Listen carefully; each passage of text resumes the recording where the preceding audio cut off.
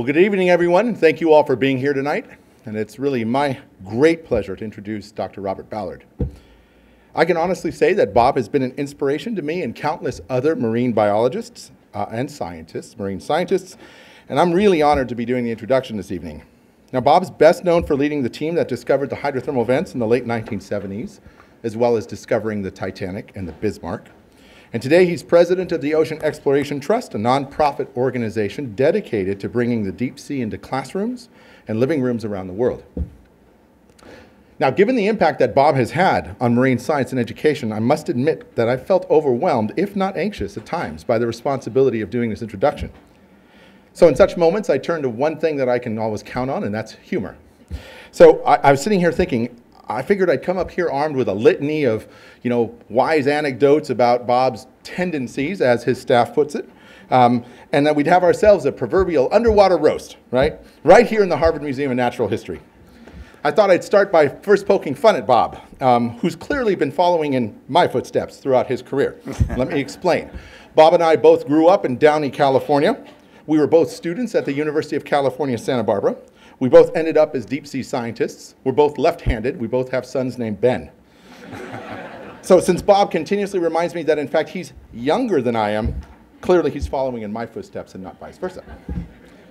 But really, as I began to review Bob's accomplishments, I was really awestruck by what Bob has done uh, over the course of his career. Among his many accomplishments, he's a distinguished military graduate in Army intelligence, a commander in the U.S. Navy, and the recipient of the Lone Sailor Award, which is given to sea veterans who have distinguished themselves.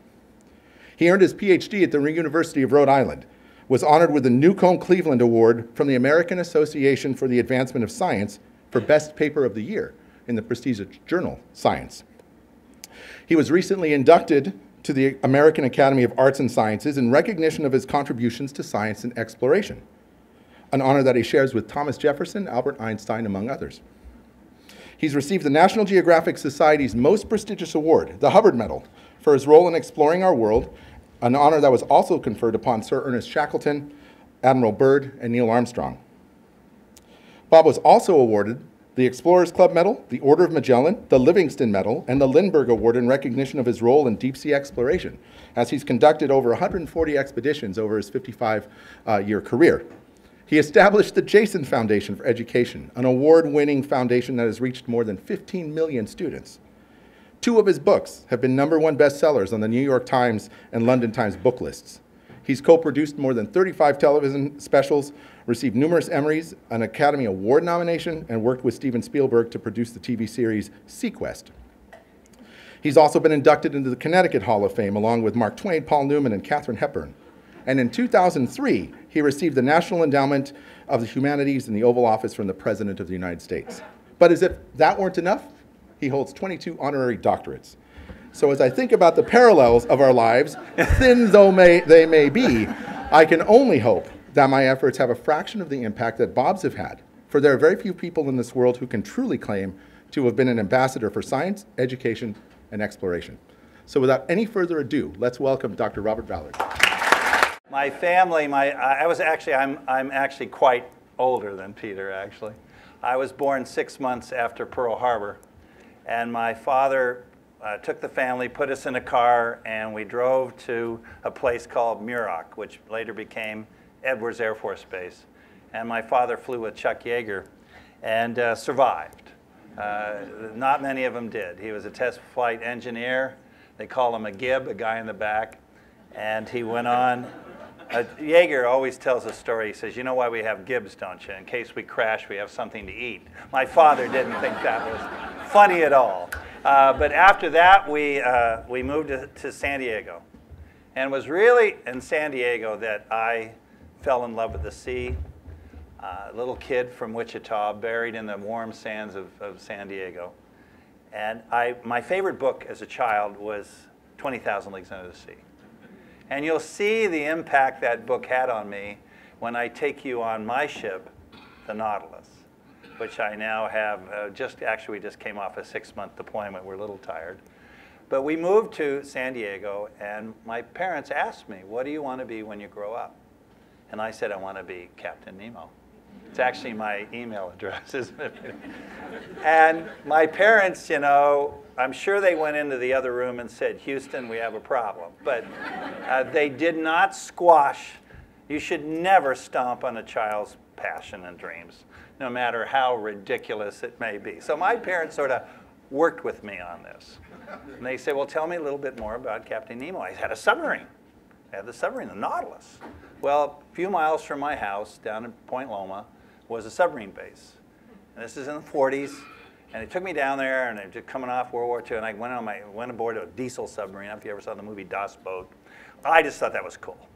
And as Peter said, I went on to be, serve for 30 years in the United States Navy, uh, mostly in deep submergence, mostly in, in naval intelligence, and we can talk a little about that or not at the Q&A. Uh, but then they said, well, Captain Nemo, you know, this Nautilus was more than just a submarine. They say, yeah, it had a big window, a big window that opened like the iris of a lens and you could see the bottom of the ocean. And they said, well, that sounds like an oceanographer. So sure enough, they uh, took me down to Scripps in La Jolla, or La Jolla, whatever you want to call it. But anyway, I, and was not close to my house, the largest oceanographic institution in the world. And I went down there, and they had a museum, and I got really thought this was cool.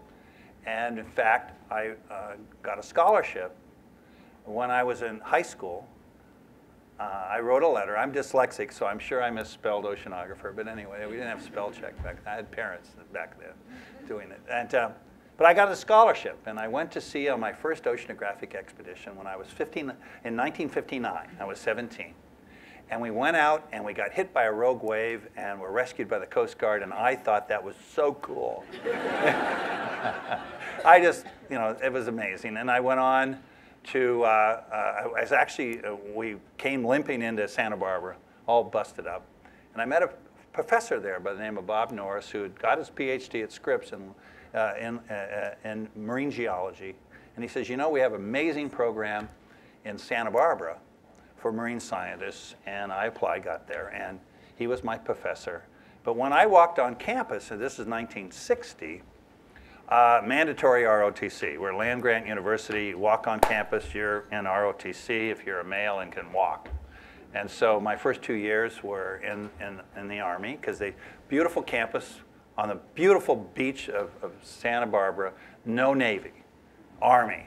So I, I went in the Army and then I had a choice, not much of one, in 1962. I could go to Vietnam as a private or as an infantry officer Foolishly, I chose to become an infantry officer, but I went off to Fort Lewis and was trained, and then I went on delayed a call to active duty, which I, want, I was admitted to USC's graduate program.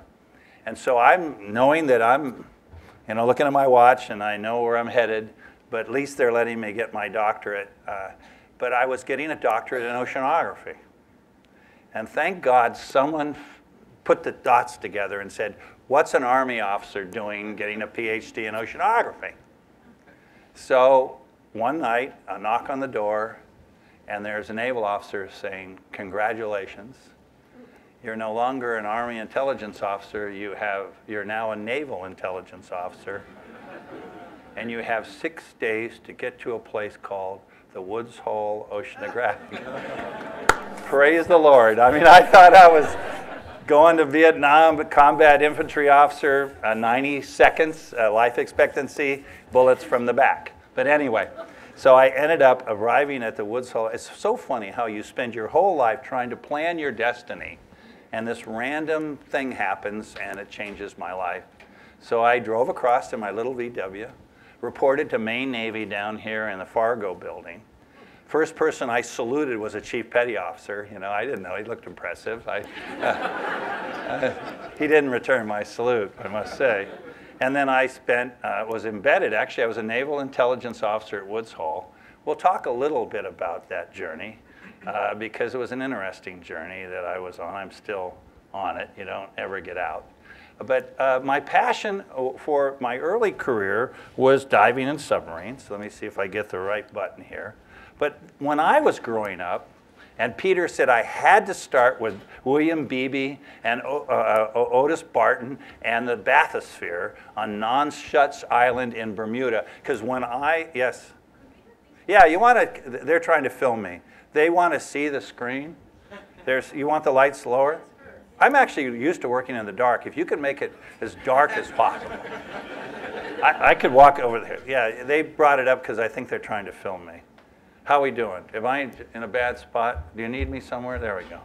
Your, your call. Yeah, make me dark. There we go. Oh, there we go. How's that? I like that a lot. Anyway, uh, so when I was growing up, National Geographic was my life, reading National, and Otis Barton and William Beebe, uh, when they made the first dives in the bathysphere, this would not be allowed. This was the most stupid thing you could ever imagine, putting people in a, in a, in a wrecking ball and lowering them on a cable that could break and they're toast.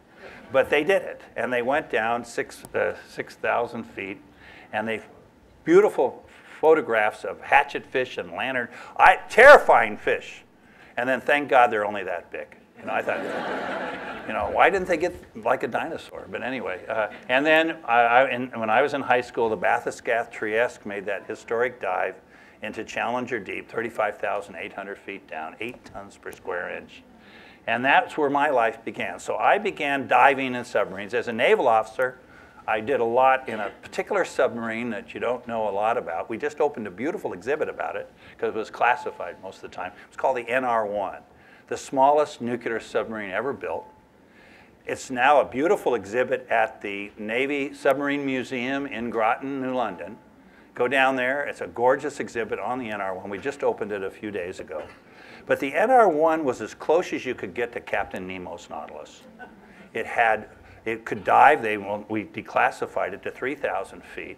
Stay underwater for a month, and it had windows, and you could wheels and you could drive on the bottom. It was really cool. I mean, you could drive for a month underwater, which is a lot of tater tots, a lot of TV dinners. and then I used lots of bathyscaphe, the French bathyscaphe, the, uh, the Archimede, and the uh, U.S. bathyscaphe Trieste 2, which are absolutely the most dangerous things you could ever dive into. Most of my near-death experiences came in those guys, and I'm really glad they're in museums. And then finally, uh, through the modern submersible, but my favorite one was clearly Alvin. I spent uh, 25 years uh, living inside that submarine. They let me out periodically. Uh, this is, uh, this is uh, taken with a fisheye lens, which makes it look extremely roomy. It's, it's not. I'm 6'2", it's 6 feet. I used to have a lot of hair. I lost it all on that hatch. But that was my home away from home. We did great things. This was all through the late 60s and early 70s.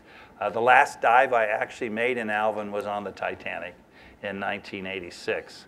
But my passion, and I think it came from watching Disney film that they did on 20,000 Leagues Under the Sea, when they were, uh, the Nautilus had, had, was parked on the bottom and, the, and Captain Nemo was walking on the ocean floor. I don't know if you remember that scene.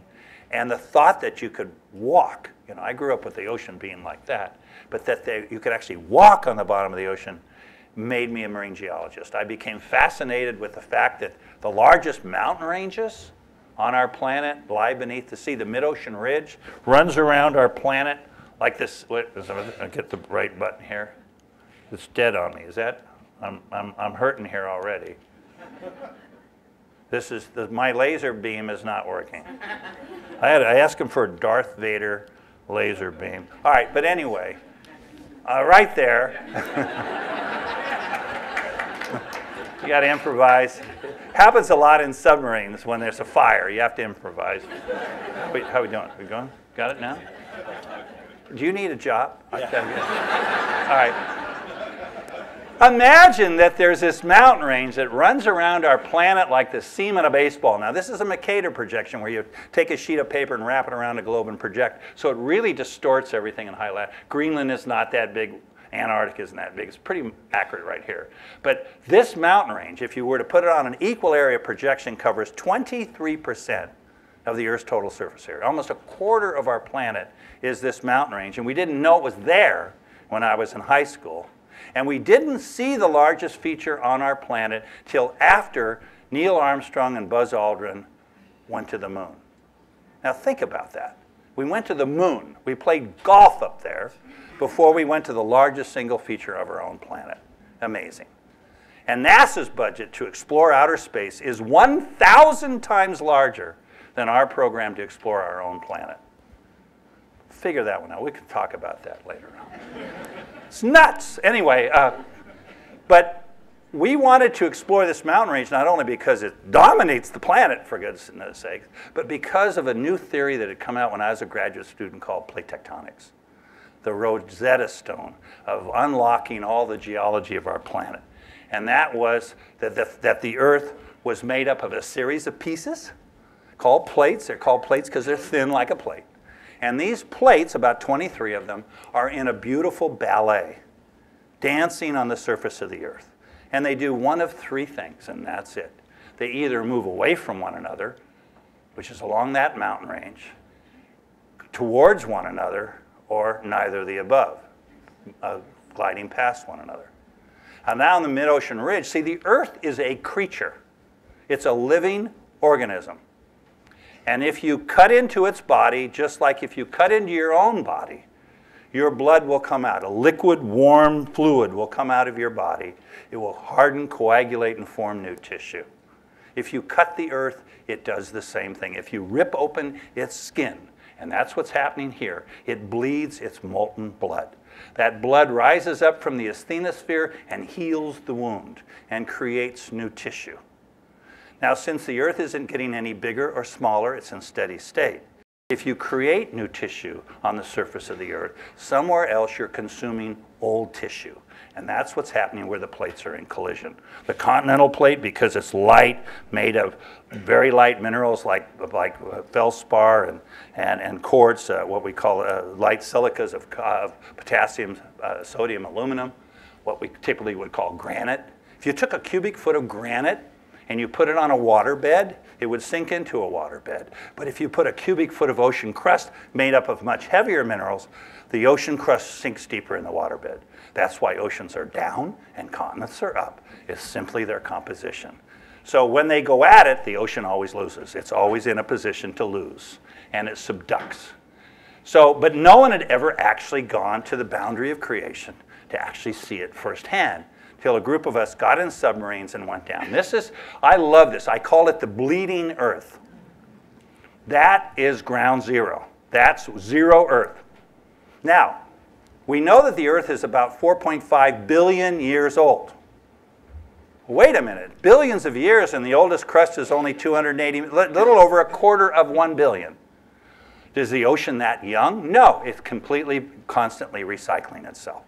The history of the Earth is, is in the continents because they can't subduct. So the ancient history of our planet and the shield areas of our major continents is where the ancient history of the Earth is. The ocean's constantly recycling itself. Now the reason the bands are different, the plates are moving at different speeds. The faster the plate, the wider the age belt. But you'll see the oldest ocean floor is subducting in the Hellenic Trench up here, where a giant ocean that used to be called the Tethys. There was a magnificent ocean that's all been closed. Uh, when India smacked into the Himalayas, all of these continents are smacking into one another, and that's the last remnants of a great sea called the Tethys. But no one, as I said, had actually gone down and looked at it. So this is, this is a, a characterization of what's down there, but really, quite honestly, uh, let, me see if, uh, let me see if I can get a dark image. Is it this one? That's what it really looks like down there. And that's important to know because just as we'd thrown out our geology books with plate tectonics, all that great work done by a lot of geologists at Harvard got drop kicked into the trash can when we came out with plate tectonics and we had a mining period. Beautiful data, misinterpreted. A lot of us wrote papers and papers and papers and never went in the field. We just reinterpreted all of Harvard's great field observations. It was a, it was a shark frenzy of papers. So you didn't sleep because you could just get them published, published, published. But when you went down there, and this is a characterization without vertical exaggeration, this is the North American plate going that way, that's the, uh, North, uh, the, the Eurasian plate going that way, and that's the boundary of injection. That boundary of injection, despite the immensity of the plates, is actually very narrow, less than 100 meters or so. That is where the Earth is bleeding. So imagine you can get in this crack called the Rift Valley beneath the North Pole and go around the Earth, never leave it, and go for 40,000 miles. And it'll stay along the boundary of creation. all through the Atlantic, all through the Indian Ocean, up into Baja, finally make a left-hand turn, become the San Andreas Fault. So we were initially focused on the volcanism. And so we were really looking at, imagine, there are tens of thousands of magma chambers less than a kilometer down along that entire mountain range. And they're 14 to 12 to 1400 degrees centigrade. You want free energy? There it is. And only Iceland is really tapping it because they live astride of it. They call it the Midgard serpent in their legend. And they're starting to look about how they can microwave off their geothermal energy. Don't fly a plane between that transmitter and that satellite, but uh, they're talking about exporting that energy because it's, it's boundless, it's, it's, it's renewable. But then we were driving along. So we, when we were, what we initially were focusing on, on the volcanism and the creative process, but we could see that no sooner does the crust create itself, the new blood is, there's a seat right here. Oh, you got it? If anyone wants, there's a seat right here. I won't buy you. A seat there. We got some seats up front. But the whole idea of this was that we were focused initially, like you always are, focused. Sometimes you miss things. But the fact that no sooner does that lithosphere form by a volcanic episode, it's being pulled apart. The plates don't stop and start. They got tremendous inertia, so they're constantly moving. So they're constantly applying tensional force on that new crust, and it starts to crack it. Now that crack is going to migrate, migrate down till it hits the magma chamber, and then it's going to trigger it. Depends upon the speed of the plates on how fast that process occurs, but in thousands of years, maybe even hundreds of years in some areas, it's going to have another eruptive cycle right here and right there. And you can sit where I was sitting. Go down and sit next to Peter. And you can sit right there. Here you go. I like to fill the house. So anyway, so when you start thinking about how many cracks there are on 40,000 miles of mountain range, a lot of cracks. And those cracks are going down a kilometer to hit that magma chamber. And then you realize water's following that crack. So then we had a problem back then we couldn't do what we call our mass balance calculations. We couldn't explain why the ocean had the chemistry that it had. It had a chemistry, but it wasn't what we thought it was because that we thought the culprit were the rivers. They're the guys bringing all the stuff in. They evaporate at pure H2O. They leave everything behind. They keep doing it, keep doing it. So if we looked at the chemistry of the, of the rivers, they should be equal to the chemistry of the oceans. Not. Problem. Well, let's ignore it. You know, uh, so we didn't know until we realized, wait a minute, there's water going down these cracks, it's interacting with the magma chambers, carrying those chemicals. What's it doing? And we discovered that it's going down and it's interacting with the magma chamber coming back. We found these what we call black smokers. Now that's a, I, I don't know, I, I created the term, it was really stupid, because it has nothing to do with smoke. It looks like smoke, it looks like Pittsburgh on a good day, whatever. I'm sorry, I, have, I was just kidding. I don't say that in Pittsburgh, but anyway. But if you get really, I remember the first time we saw one. I said, let's go, I told the pilot, let's go see how hot it is. He goes, really? I said, yeah, we, let's go, I, I want to see how hot it is. So we had a thermometer, stick the thermometer in the thing. So we go up to it, and we're, you know, we, manipulators, so we're sticking the thermometer in, and I'm looking at the gauge, and it goes, bam, it just pegs off scale. The pilot says, that's hot, okay? we pull out the probe, the whole probe had melted. And then the pilot said, Bob, the porthole is made out of the same stuff. and unbeknownst to us on that first, we were burning a hole in Alvin's foam. We were sitting on another one, about a few inches from that downward looking porthole. That would have been a bad day at the office. We would have lasted about a nanosecond. We wouldn't known what hit us, and we would have been you know, fish meal. But anyway, so we looked at, but here's what a real one looks like. That's about my height. Now, here's what's interesting. You know what you're looking at? Commercial grade ore of copper, lead, silver, zinc, and gold. Copper, lead, silver, zinc, and gold in commercial concentrations. And we're, we're looking at mining it. And I just had a big symposium on is that a good idea? And if you, how do you do it? How do you not do it? But that is commercial grade ore. It's the same as the copper mines of Cyprus, which fed the Bronze Age. It's an uplifted black smoker. We didn't know that at the time. But so this is a massive amount. Now let's back up. These black smokers are being created along that mountain range, right? All of the colored stuff originated there. All of that colored area is full of copper, lead, silver, zinc, and gold. Let that sink in. I don't know if you want to buy stock in the metal market, it's going to collapse. But anyway, th this entire area is underladen with black smokers. And they're just now, a, Canadian company and an Australian company are just bought the lease rights off uh, Papua New Guinea to begin mining these guys. And so that's a big issue. But what blew us all away was let's go back to this picture. We, because the ocean is really, uh, let's get this right, that. Most, the average depth of the ocean is uh, 13,000 feet. Okay, 13,000. A photon from the sun cannot get to the surface. Most of the earth is in eternal darkness. Most of the earth has never felt the warmth of the sun. Now, will it ever?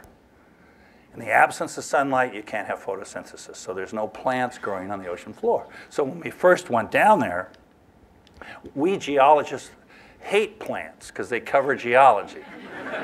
We've been accused of for setting forest fires, which is all untrue. But we do go immediately after a forest fire to look at the geology. So if there's no life down there, there's a little from the euphotic zone. These guys are bringing it down, but not much to eat than eat about. The, the, the, the, creatures in the euphotic zone, the upper sunlit layers of phytoplankton, zooplankton, as they fall, they're eaten about two or three, four times. We call it the fecal express. and the average rate of sedimentation in the deep sea is about a centimeter per millennium, so it's not a lot of food. So we, we accepted all of that until we're driving along and we see that. And we go, time out. This is not fair. We're at 8,000 feet. The biomass here is, well, I don't know, three to four times the sun euphotic zone. Three to, even more than that, probably order of magnitude. Up in the sunlit area, can't compete with what's going down in total darkness. We're going, not fair. And there was a dominated by a particular worm, a Vestimentifera, that stuck its lung out. That's its lung. And sticking its lung out to ingest what turns out to be pretty bad stuff. It's ingesting uh, gas uh, fluids that have hydrogen sulfide. If we filled the room with hydrogen sulfide, it's a very ugly death. Not only do we not like it, plants don't like it either, but these guys are smoking it. Okay, so what's going on? And we found these giant clams, clams that had human-like blood. Foot, not fair. When we opened that guy up, I took out a dissecting knife, expecting, I, I, we, I love clams on the half shell. I wouldn't eat this one. if you could get, even if you could get past the smell. The smell is the smell of rotten eggs, sulfur. And I dissected it expecting the internal anatomy of a clam. Wrong. It had bacterium that had taken over its body and figured out in eons of time how to replicate photosynthesis in the dark. Uh, we now call that chemosynthesis. So these are what we now call extremophiles. We believe these guys can survive on meteorites, and that's how planets reproduce. So those of you that have trouble being related to a monkey, try that. okay, so lots of good stuff going on. But I, you know, I'm getting tired of going up and down in an elevator. It takes me two and a half hours to get to work in the morning, two and a half hours to get home at night. I got a five hour commute to work. I was as bad as coming here to, from Connecticut, rush hour. That was wonderful on the Mass Pike. That's about a typical day at the office for me. Uh, and so I said, this is crazy. I'm only spending three hours on the bottom. I'm trying to explore 72% of the planet at one knot. You know, it's not going to work. So I went off to Stanford, 79. I was teaching geophysics there, and I said, there's got to be a better way of going to work. And this was in Silicon Valley at the time, microprocessing, fiber optics, all sorts of cool things evolving. I should have thought make a cell phone out of it, but I didn't. Uh, we would have financed the whole thing on that. But so I came back and I published in National Geographic a concept in 1981 called telepresence. The whole concept is to, to have an out-of-body experience to not, our body, we live on, the human race lives on, 95% of the human race is living on less than 5% of the planet. We live in nowhere in outer space and we're not going to get out there. And living on Mars is a bunch of baloney. Like, you got to be kidding. But your spirit is indestructible, can move at speed of light. Now, I don't know if many of you saw Avatar. How many saw Avatar? Okay. See it if you haven't, because it's in the movie. Remember Jake the war veteran? They take him in a room and he's got a Na'vi. A Na'vi, for those, is a big eight foot blue green thing with funny ears and a tail. Somewhat sexy, but not quite. And Jake's in there. They take Jake in, they lay him on a slab, and they move him, his spirit, from his body into the Na'vi. Remember the scene? What did he do when he realized he was in the Na'vi? What did he do the moment he said, oh my gosh? What did he do? Remember? He got up and ran. And they thought, oh, he's freaked out. So they went and they got, you okay? He says, yeah, I'm fine. Why'd you run? And he says, because I wanted the wind in my face again. Because Jake was a war veteran, paralyzed from the waist down. His body had failed him. He woke up in another body. It had legs. He didn't care. He was blue green, eight feet tall, and had a tail. I'm running. And he ran. That's my Na'vi. My body is not meant to be down there. And most of our future is going to be in end effectors. Most of our future. I live on the Connecticut River in the wetlands. I don't want to leave it. Move my spirit. And so I said, how can I implement that? I want to, I wanted, I love being at home. I love being with my wife and children, but I love to explore. Can I, can I just, at the speed of light? Speed of light, I can move from my house in Connecticut to that in a fraction of a second. And when I need to go to the bathroom, I get up and it's sort of a, oh, I'm in Connecticut. I go to the bathroom and I go back down to the bottom of the ocean. so I had to, I, so I came home and I, uh, we have a program at Woods Hole with MIT, a bunch of bright guys and girls, and I said, hey guys, I want to take this vision and make it into a technological reality. And they thought it was nuts until I said, what physics have I violated? And they said, yeah, actually not. It'll be difficult. And I said, I got you. If it's not impossible. So then I needed someone to fund it. Well, NSF was still excited about, and I got to get my gills get, get dried out, and I got to get some. So, NSF says, well, you know, we're, we're really excited about Alvin. I says, no, it's passe. And we want to do this. And they said, we we're not we're going to get an Alvin. I said, well, then, so I said, I couldn't find anyone to fund it. So being a naval intelligence officer for 30 years, I went to the Navy. I said, what do you think? They said, it's cool. I like it. There's no humans in the battlefield. And I said, yeah, isn't that nice? We're, gonna have, we're not going to be out there. And it's called drones. And they said, well, how, how about underwater drones? I said, now you're talking. This is 1981. And so I, they said, we'll fund it. But we need you to do something for us to pay the piper. What's that? And they said, well, during the Cold War, we lost two submarines, the Thresher and the Scorpion. And in the case of the Scorpion, we lost nuclear weapons. We don't like that. So we want you to go take care of that. But don't tell anybody. Okay, so I'm going to build my stuff. And, yeah, yeah, but don't tell anybody. You need a cover story. And I said, Have I got the perfect cover story for you? Swear to God, exactly how it happened. The Thresher is to the west of the Titanic, the Scorpion's to the east. If that hadn't have been the fact, I would have not been the guy. So I said, What do you think? And they said, This is cool. They were pissed when I found it. they were, they, you're nuts. I said, I'm sorry, I'll never do that again. but I did. And I went out and I did all the homework. I want to find the Titanic. But I used the Thresher and the Scorpion as a cover. But I had to do them first, so I had very little time left. So I had to analyze how you find it. How could I do it? Everyone else had months. I had days. And I went down with my first Na'vi, Argus. This was my first command center. This is a moment of discovery. When I show you what I have now, this looks like two cans and a string. But it was good enough because we didn't come up and we stayed down, stayed down. We picked up the debris field, which I learned from the Thresher and Scorpion, scattered all over the place. Don't look for the ship, look for its debris. Follow the debris and the pieces get bigger and bam, so then the weather came in, I had to come back. And then the, the, Navy wanted me to go inside the Scorpion and the Thresher, into the forward torpedo room, see where those, what's cooking on in there. So I said, well, let's do it again. Let's tell the public I'm going to go into the grand staircase of the Titanic. And they said, that's cool.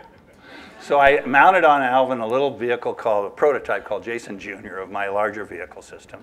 And sure enough, we went down, relocated the Titanic, That was cool. Still has anti-fouling paint. They should have painted the whole thing in that and would be fine. Uh, and then we landed on the deck of the Titanic. And from that, you could, you, you know, I, you know, I want to stabilize the submarine, so I land on it, boof, and then I can deploy the vehicle system, peek in the windows of Molly Brown and all that sort of stuff. But then I needed to penetrate inside because I was going to penetrate into the forward torpedo room of the Scorpion. So we landed above the Marconi room, went down the grand staircase, and boom, proved everything. And then uh, the most compelling image was really this is what happens to people. They're eaten, their bones dissolve, and those are their tombstones. And when I saw that, I wasn't going to pick that coin up. And I then said, let's not disturb this site. I tried, I was unsuccessful, big legal thing I can talk about. But unless I, I could own the Titanic under one condition if I removed it from the bottom of the ocean. I said, I don't want to do that. They said, well, you can't own it. I said, that's silly. 1640 Admiralty law. Uh, but then I went on a binge. And I went after the Bismarck and I found it in 16,000 feet of water. I went after the Yorktown. People always ask me, how do you know it's the right ship? This said Yorktown on the back of it.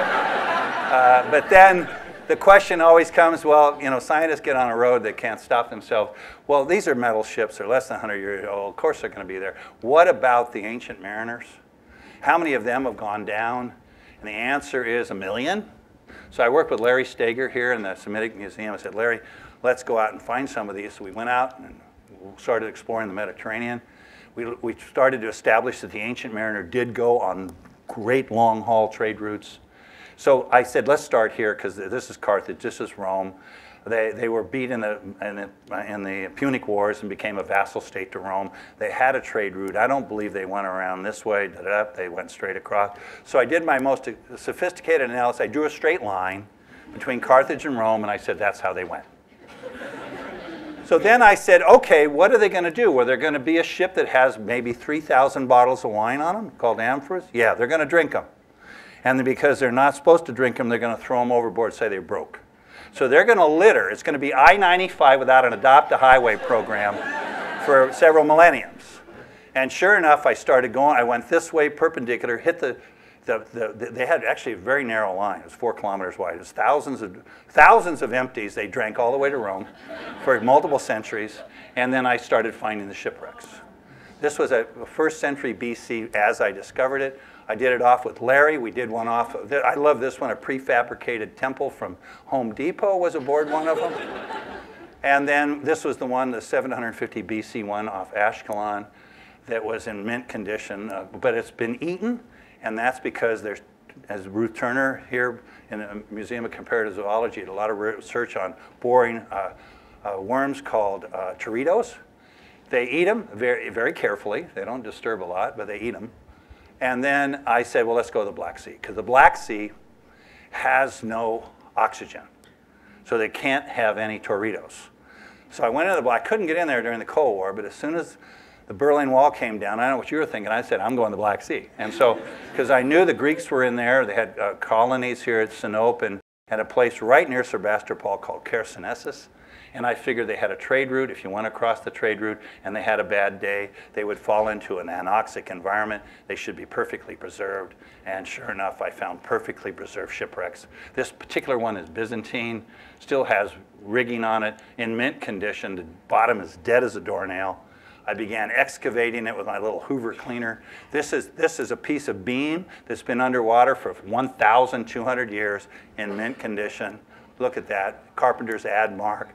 Look at the artifact in mint condition, still has beeswax dripping. And I just recently found one from the classical period, 500 BC, that had human remains. Think about those time capsules. But what have you done for me lately? Okay, where am I now? Well, after doing all of this, I said, I want to bring this up to full, full, the full Monty. And I wanted to uh, I look back upon my career of 150 expeditions, 55 years at sea, and all the really important things were the hydrothermal vents, the black smokers, the things we did not know existed. We didn't know they were there. Kids say, What are you going to discover next? And I say, I don't think you understand the process. I don't know what I'm going to discover. It's a real tough proposal to write to the National Science Foundation say, I don't know, I just want to go. And they go, Not good enough. So I said, let's get crazy and let's reinvent the Challenger expedition where the community goes out there. It's not, we were gonna, we're gonna open source everything. We're gonna go to, everything's everybody in the game. It's not one PI jealously guarding their data. You know, I'm way past that. And I said, let's mount some modern day Challenger expedition. And I got my ship. I called it the Nautilus. It was an East German spy ship. Another story uh, on that one. And then I implemented my telepresence. And we're running the ship like the emergency room of a hospital. Because we don't know what we're going to find. We're going where no one has gone before on planet Earth. And so what's going to happen? We work 24-7. The ship goes to sea for six months. It just grinds four on, eight off watches. Come in, get some bananas and some lettuce and back out. Boom, boom, boom, boom, because 20,000 leagues under the sea was this way. And we, we registered almost 10,000 leagues this year. A league is, uh, well, not 10,000, 1,000 leagues. A, a league is eight, uh, what a, uh, how fast a Roman legionnaire can walk in an hour. I think it's four miles an hour. That's a league. And so we did 10,000 miles, so run the number a couple thousand leagues. I'm going to do 20. But the idea is, so we make a discovery. First place, the ship is full of students. We have very few faculty members aboard because we, you know, we'll call you when we need you. And they're expensive and you complain a lot. Anyway, graduate students are perfect. They're smart, cheap, and do what you say. I love graduate students. And so the idea is so you make a discovery. So our promise, now listen, here's the promise. We're going to go to the middle of nowhere where we've never been. No matter when we're there, Sunday morning, 2 a.m., 20,000 feet down in the absolute middle of nowhere, and we make a discovery, we will deliver the brightest mind in America to that spot in 30 minutes. In 30 minutes, we'll have the brightest mind at that spot. Now, how the heck are you going to do that? Piece of cake, because we're just moving their spirit. So I implemented that whole paradigm. I have a ship that can make maps like no one can imagine. You can go in and paint your maps. This is the ship going into nowhere and making a beautiful digital map. It can not only make a bathymetric map like you see here at full speed, it can see oil and gas coming out of the bottom of the ocean. I don't know, a lot of people like finding that. We just jumped over several geophysical steps of where is it? Well, it's right there. Can't you see it? You know, and we then prosecute it with our vehicles. So this is my Na'vi. This carries my spirit.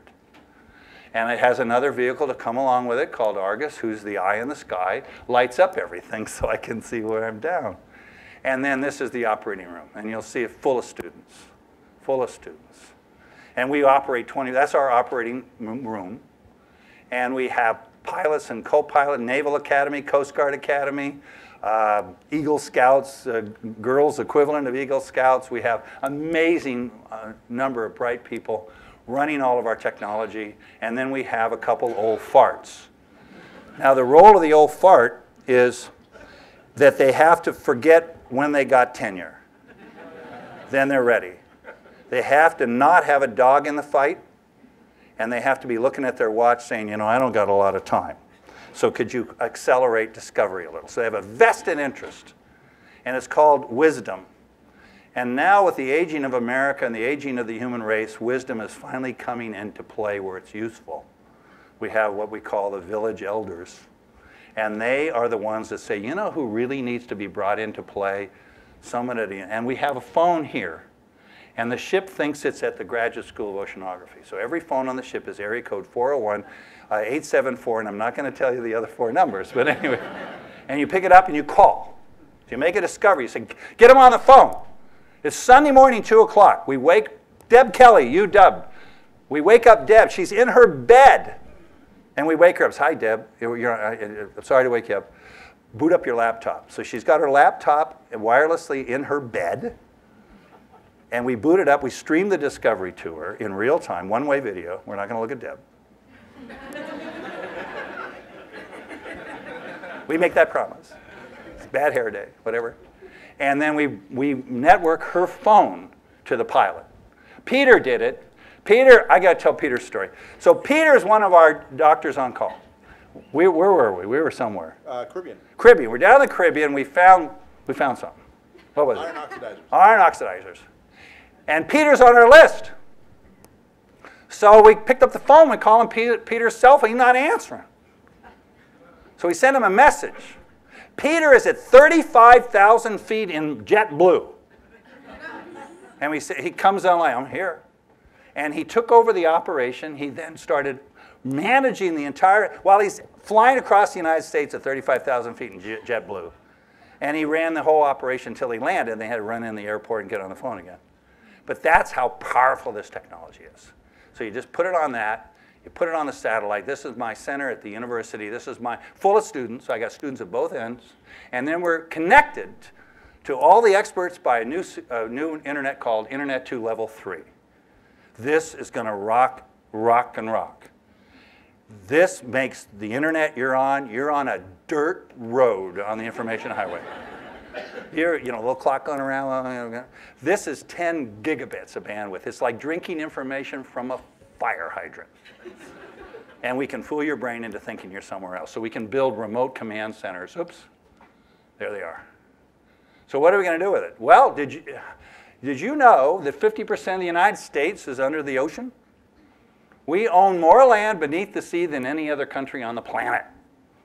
And we have better maps of Mars than half the United States of America. We want to know what we own. So our mission is to explore the new America.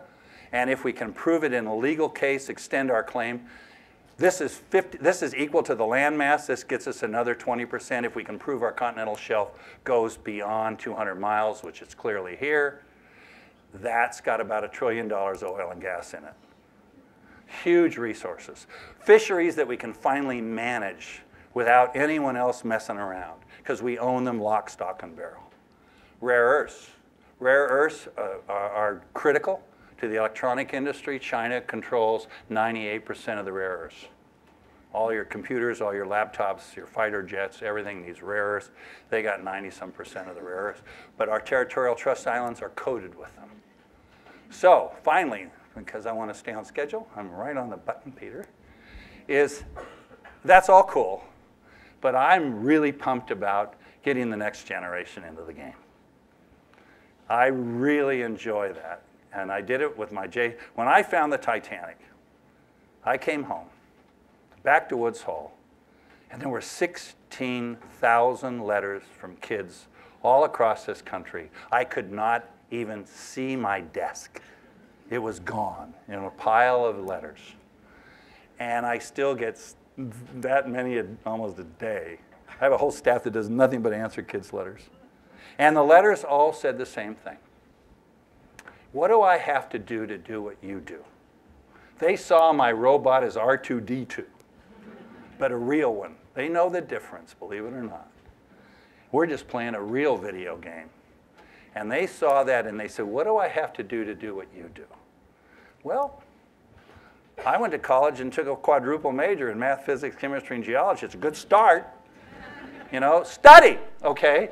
But then they said, uh, the second sentence said, Next time you go, can I go with you? And I said, You bet. So, what I'm doing now is I'm taking our technology of reaching spirits, my exciting explorations that we're doing, and I'm going after kids. Now, my approach is a little different than our ed- educational system in America. The United States is second only to uh, Luxembourg in how much we spend on our children for education. Luxembourg, believe it or not, spends more than us. We're number two on how much we spend on our kids, but in the Western world, we're 27th in STEM literacy. A lot of money, not getting the results. I have a thesis as to why that's. It's not about selling science and engineering. It's about selling scientists and engineers. It's all about role modeling and mentoring. So I've mandated, because I can, it's wonderful. They say the most efficient form of government is a benevolent dictator. Unfortunately, the worst form of government is a non benevolent dictator. But anyway, as a dictator, because I created this whole thing, I mandate that 55% of my Corps, and I call it the Corps of exploration because Lewis and Clark was the Corps of discovery. But it's not Lewis and Clark, it's Lois and Clark. I've mandated that the Corps will be 55% women in positions of leadership and authority running the show. And I, I'm at 48%. I'll hit 55 then probably next year. And it better have every face our nation has. A child needs to see their face in the Corps to know they can be in the team. And I go out and I and they're there. I mean, my God, they're, they're I, I travel the country. I'm recruiting some tonight. Well, you're, you're going to go, right? I'm recruiting people all the time. I'm always recruiting because this is what it's all about. The empowerment of women is the only way we're going to survive this planet. So, anyway, so they then become the faces of the Corps, and they then embedded in the Corps team after team. I have a program. I, I, so I went out on social networking, and I, we, we have a, pro, a STEM. We have a community-based STEM program. We'd like to do it here in Boston, wouldn't we? Be? Need to talk to these people. But anyway, I got a. So I'm down in I'm down in Beaumont, Texas. And I went on social networking to the kids in our program, and I says, "Kids, I'm going to come to Lamar University to give the talk I just gave you. Come." 10,500 middle school children showed up. 10,000 took us an hour and a half to fill the doggone place. The president of Lamar University came and says, Bob, I want to introducing me. He says, kids, I want you to know that you guys set the all-time attendance record of this arena previously held by Elton John. okay? You got it, right? Yes. and they, we buzzed them. I mean, we, this is it. Middle school is the battlefield. They're won or lost by the eighth grade. It's middle school. We have the greatest universities on the planet. Our badge of courage should have the greatest middle schools on the planet, okay? And that's what I'm trying to do, empowering these teachers to take their kids and blow the tops off of them and immerse them. I love this one. This is in our lab. Uh, this young lady is in our honors program. She's a rising senior in high school. So she's between her junior and senior year in high school. She spends the summer with us.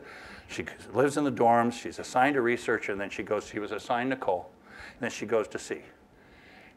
Undergraduate, undergraduate, graduate student, PhD. Just look down the line. It doesn't take, don't have to say anything. Just look down the line. It's all about taking these young ladies and men and everyone else and involving them to be, this is Katie, who's one of my senior uh, uh, engineers. Katie got her undergraduate degree at MIT across this town. I met her when she was at MIT. I said, you're on my team. She went to England, got a master's in archaeology, and then she was a student of mine. And I hooded her a few years ago with her PhD in marine geology and geophysics. Undergraduate geology, master's archaeology, PhD marine geology and geophysics. She takes no prisoners. So it's all about being able to really take the exciting things we're doing, exploring our own country, finding what we own, but also getting those kids mobilized and excited to do what you got to do, which is study a little hard. So thank you very much.